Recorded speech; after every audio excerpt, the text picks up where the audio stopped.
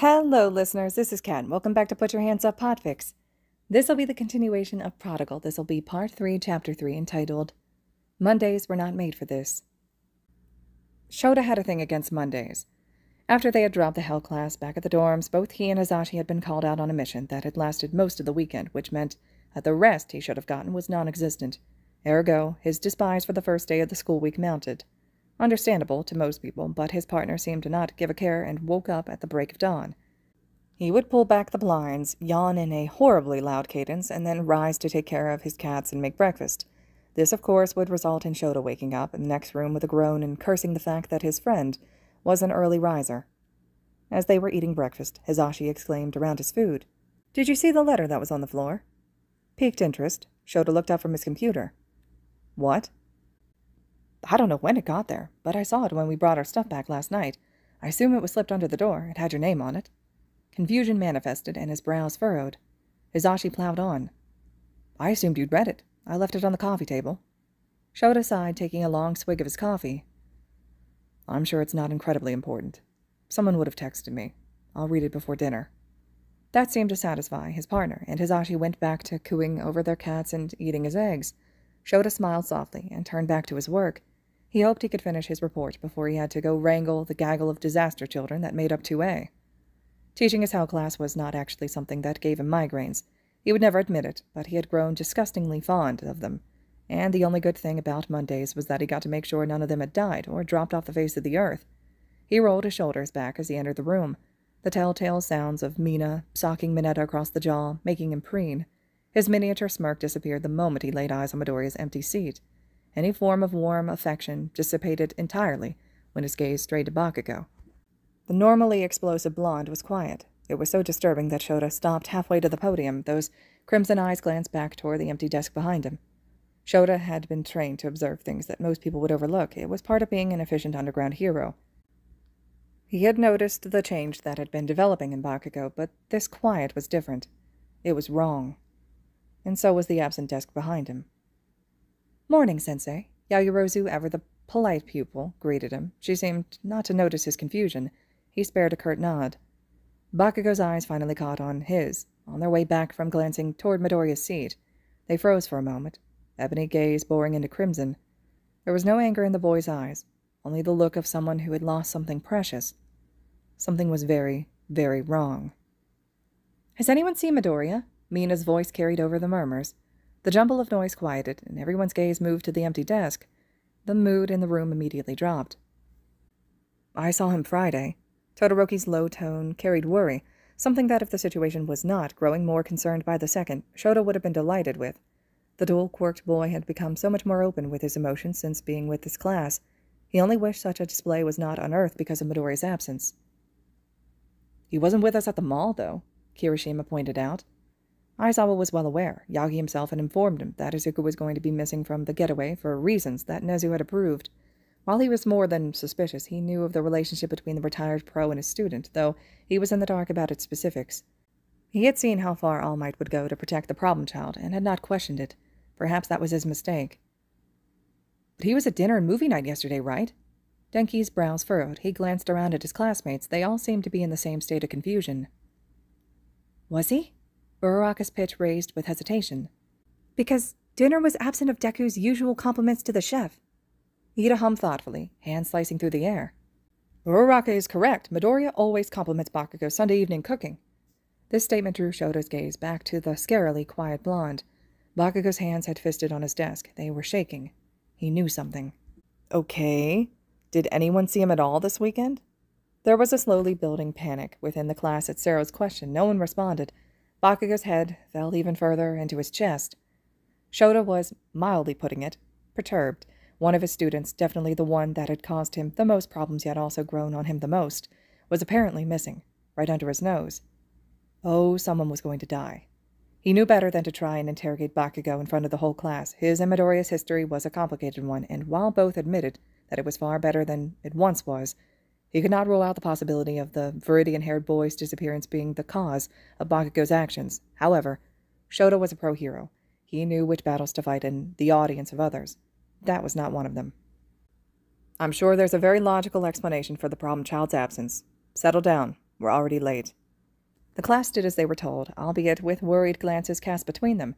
Shota forced himself to remain calm, like he always was, and wrangle his hell class into submission. Within a half hour, the glances toward Midoriya's empty desk stopped, and his students seemed perfectly distracted.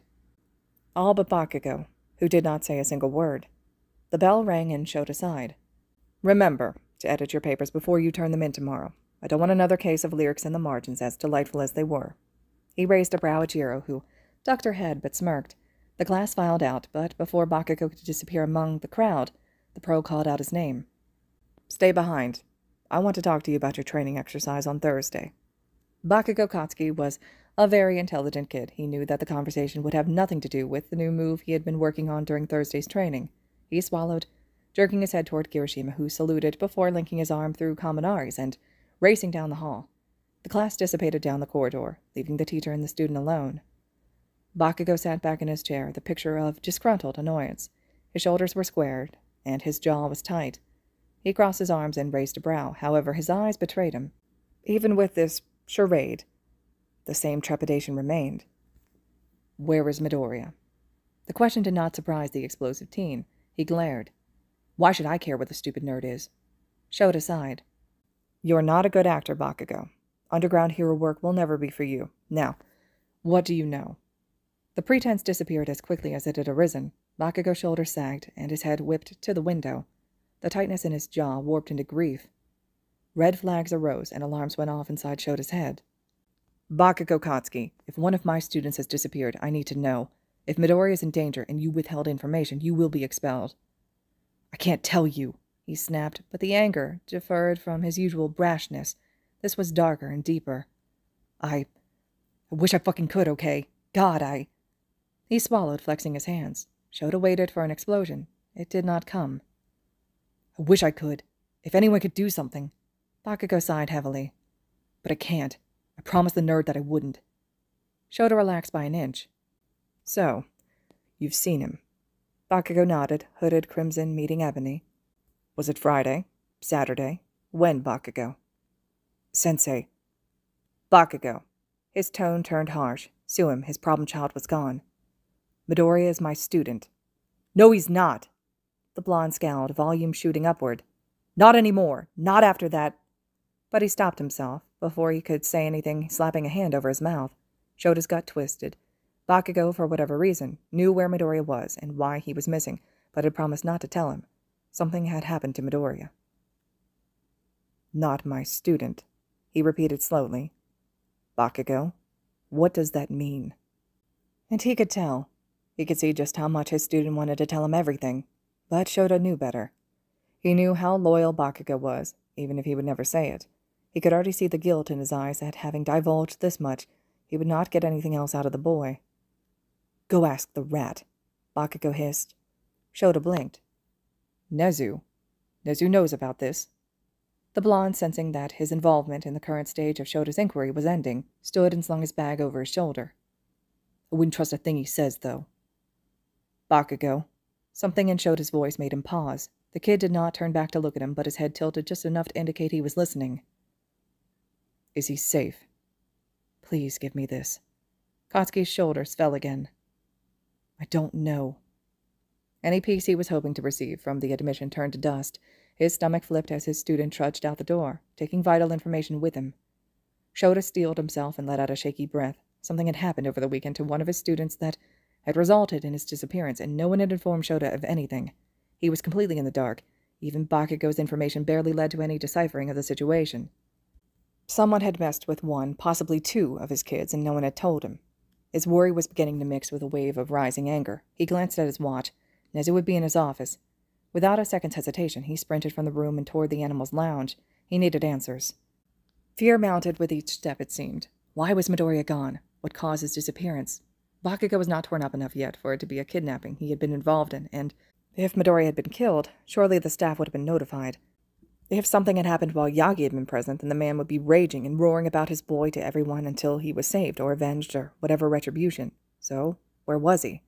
He threw open the door without knocking. Where is my problem child?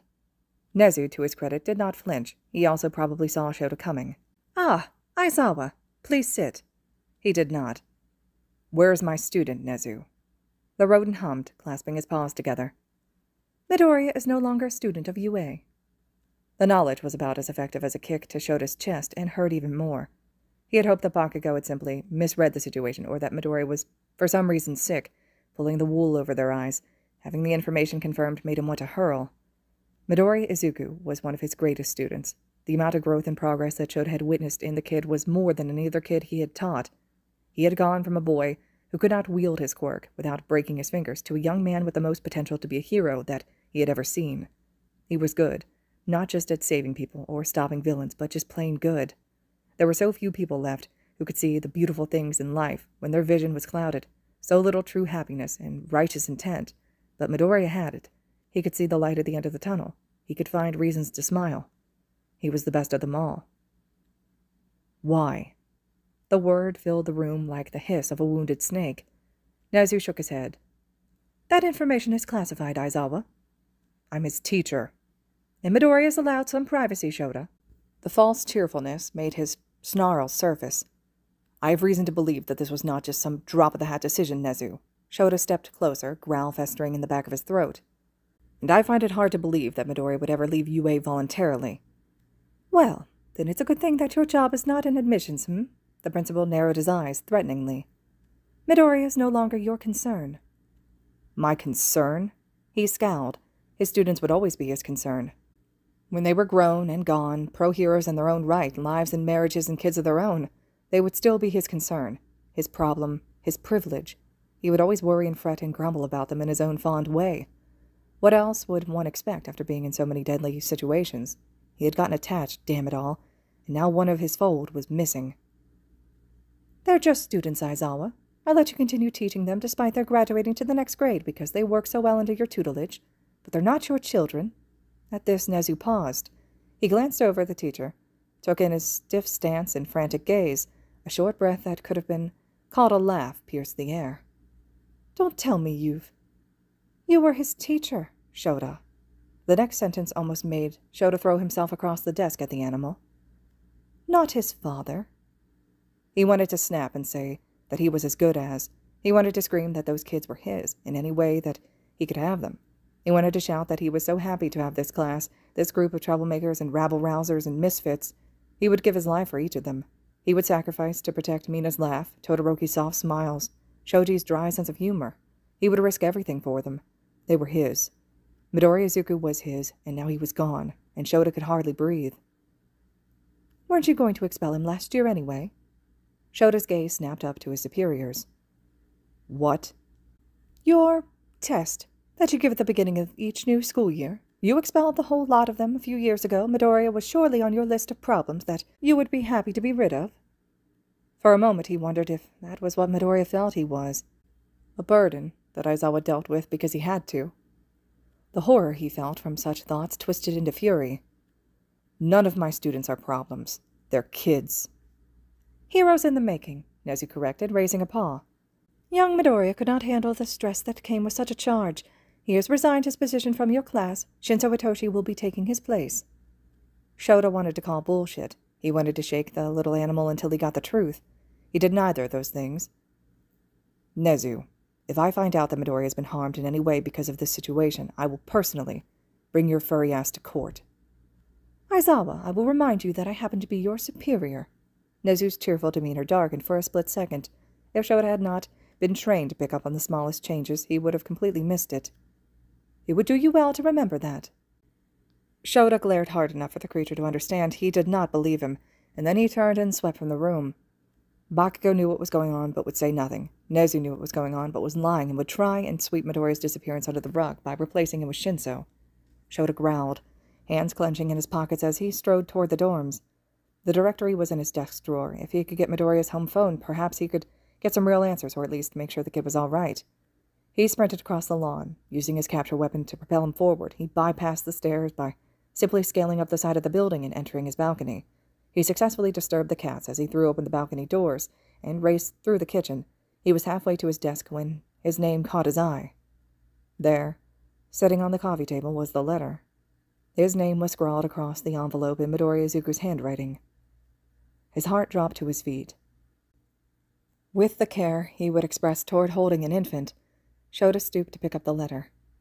He collapsed on the couch, holding the envelope in his trembling fingers. He traced the letters of his name and swallowed. He had left a letter. Izuku was saying goodbye. Aizawa was not a crier.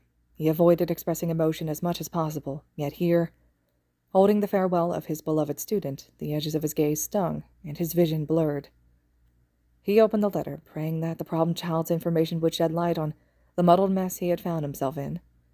However, two words into the first line, and he broke. Sensei. Thank you. Shota pulled his gaze away and covered his eyes. Those words had many times brought him joy. Whenever a student graduated or he complimented them on a new move, whenever one of his kids ranked high in a subject they struggled in, or when a civilian showed gratitude when he saved their life. Now, though, they meant a completely different thing. Midoriya wrote them as a goodbye, a fond farewell. They were a conglomeration of all the thanks that he felt for every single thing that Aizawa had done. It was an acknowledgement of all the progress that he credited to his teacher. It was the adoration of a child to his hero. Shota did not think he deserved it. I am writing this in hopes that you don't step on it your first foot in the door when you return and trample it into a, a crumpled ball of paper. I'm not sure if you will read it, but if you do, please know that the things you have taught me will be cherished forever. I am indebted to you, Sensei. You have saved my life in more ways than one. You have taught me the true strength of a hero is not in his quirk, but in his heart. Compassion, gentleness, grace. I used to think those traits were weak or undesirable for a hero. Then I met you, and you risked your life for ours during the USJ attack. You got Kacchan into therapy, you made sure that Todoroki did not have to go home on breaks. You took care of your students without reservation, without discrimination. I did not know that teachers did that. Your kindness has shaped my career at UA more than you know. I'm so honored to have been your student. I know that you'll have questions. I know that you'll be angry or disappointed in me. And Shota had to stop and turn away again. His stomach flipped at the image his brain provided of Midoriya writing this, Seated at his desk, hunched over, worrying his lip in anxiety at the thought of his sensei being upset at his departure, Shota wished he could hug him and tell him that he was wrong. Yes, he was upset, but not because Midoriya had dropped or seemed to have fled like a coward. His heart hurt because his problem child was gone, and he could not find him. He had left, and Shota had no idea how much room his student took up in his heart until he was not around to fill it. Problem child. But I have become unfit to attend UA any longer. UA is a school for children worthy of becoming heroes. That's not me. I was foolish to think that I could belong here. I tried, but I'm really good at not trying hard enough, I guess. Life's taught me that. If you have questions, Nezu should be able to explain it. Take care of my class, okay? I know you care about them more than you'll ever say, and they care a lot about you, too. I know I do. Make sure that Kacchan doesn't skip therapy, and make sure that he does not let this change him. I don't know how he'll react, but we've come a long way, him and I, and I don't want him to be damaged because of my mistakes. Look out for Uraraka. Don't let her aspirations of money outweigh the need for goodness. Make sure Ida learns to laugh. I think he's carrying a weight that none of us know, and humor has always been the best reliever. Help Todoroki realize that his father is trying. Forgiveness is the hardest thing that any of us will ever have to do, and Endeavor does not deserve it, but he is trying. Redemption is a long road. Don't let Kirishima lose his tenderness in his quest for strength. He is one of the kindest people I have ever met. It would be one of the world's greatest losses if he were to trade his heart for the fortitude of stone. Kaminari has such a smart mind. Don't let him stew in his doubt. He is capable of great things. Sero fakes a smile and uses jokes to deflate his inner demons. Help him fight them. With each new student, Shota learned a little more about his class. Midoriya, ever the analytic and genius, listed his peers with the utmost affection asking him to help in ways that he was not able to. Each name and tidbit of information only made the teacher's heart ache deeper. The problem child had always worn his love and his smile. He did not know how much he would miss it.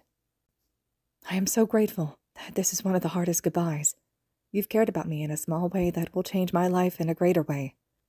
I'm just really thankful. If I could do it all again, knowing that I would fail in the end, I would. I've been blessed in so many ways because of you and the lessons you have taught me. Knowing what I would have to lose is still less than the knowledge and experiences you have given me.